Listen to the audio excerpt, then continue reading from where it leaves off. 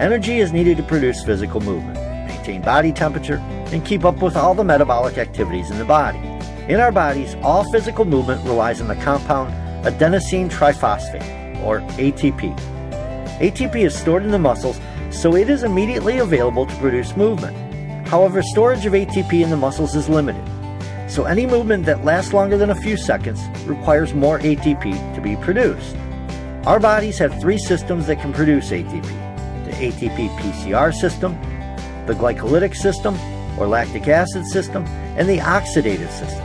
The first two systems are anaerobic systems, meaning oxygen is not required to produce ATP. And the oxidative system is aerobic, because oxygen is needed for ATP production. The ATP PCR system is based on movements lasting about 5 to 15 seconds such as strength power movements like a golf swing, jumps, throwing, or racket serves. These type of quick burst movements can be done with ATP that is stored in the muscles. During short sustained power movements or any quick bursts such as a short sprint, ATP will provide the energy alone for the first few seconds, with a compound called creatine phosphate, or PCR, buffering the ATP for another few seconds. Like ATP, the amount of PCR is limited, so this system can provide energy for movements up to about 15 seconds in total.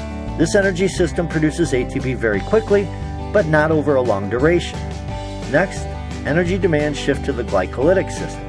This system relies on the rapid breakdown of carbohydrates. Glucose, which is one of the most basic forms of carbohydrates, is constantly circulating in the bloodstream. And glycogen is a stored form of glucose in the muscles and liver. This blood glucose, or glycogen, is broken down to create ATP through a process called glycolysis. During this energy supply process, a substance called lactate is formed and hydrogen ions are released.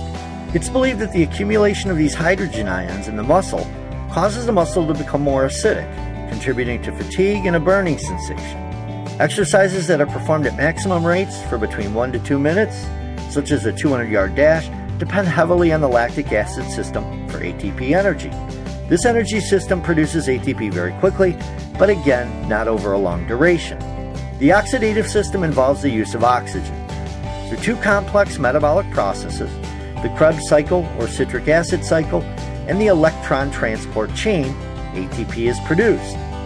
This energy system, with all of its processes, can't produce ATP nearly as quickly as the first two systems. However, this system can produce ATP for a much longer duration. This system can use carbs, fats, or if necessary, even protein. However, fats and proteins have to be broken down, so when the system uses them, the process becomes longer. This system is used for longer duration activities, such as a bike ride or long run. The chart on the screen shows an estimate of the percentage of energy used from each system, along with time plotted at the top. As you can see, the ATP PCR system dominates at the beginning then glycolysis becomes the dominant energy provider, and then energy really relies on the oxidative system. Here are two other charts. The one on the left shows an estimated rate of ATP production per second for each system. It also shows the rate for carbs and fats for the oxidative system. You can see how much more rapidly the ATP, PCR, and glycolysis systems are at ATP production. On the left is a chart showing the aerobic ATP production for trained and untrained people, showing the benefits of well trained persons as they don't run out of energy easily. Each of these systems can be trained to be more productive. By changing your workout routines, doing explosive moves like box jumps, you can improve System 1.